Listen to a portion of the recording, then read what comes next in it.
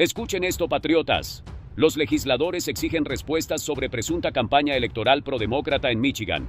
Amigos, los legisladores republicanos están exigiendo respuestas urgentes a un alto funcionario de Michigan sobre una supuesta campaña electoral a favor del Partido Demócrata. Al parecer, se utilizaron dólares de los contribuyentes federales para impulsar la campaña de reelección del presidente Joe Biden.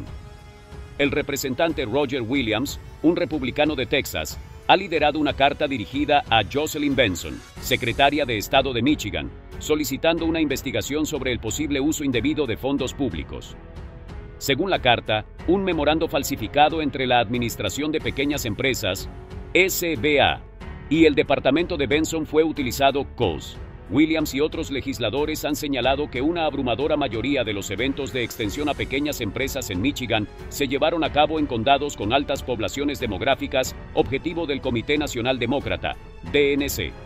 Además, los principales funcionarios de la SBA realizaron visitas exclusivamente en estos condados, lo que ha generado sospechas sobre un posible favoritismo político.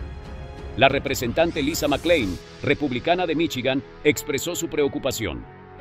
Estados Unidos se basa en el principio de elecciones libres y justas, pero la administración Biden parece no preocuparse por defender nuestra democracia.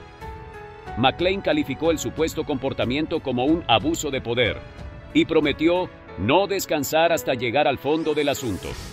El represe, la polémica se intensificó cuando James O'Keefe, un autodenominado periodista guerrillero, publicó un video encubierto que mostraba a un funcionario de la SBA sugiriendo que las visitas de la administradora de la SB, Isabel Casillas Guzmán, tenían como objetivo indirecto hacer campaña para Biden.